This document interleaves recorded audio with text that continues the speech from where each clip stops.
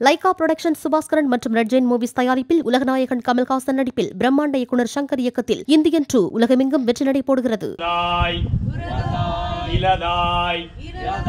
மறுவாய் மலராய் மணியாய். திருவண்ணாமலை மாவட்டம் தேவனாப்பட்டில் உள்ள பழமை வாய்ந்த ஸ்ரீ சிவசுப்பிரமணியர் சுவாமி கோவிலில் ஜப்பானை சேர்ந்த முருக பக்தர்கள் வழிபாடு நடத்தினர். அப்போது கந்தர் அனுபூதி பாடலை கோவில் குருக்கள் பாட ஜப்பான் பக்தர்களும் மனமுருக பாடினர். தொடர்ந்து கோவில் வளாகத்தில் அமர்ந்து தியானம் மேற்கொண்டனர்.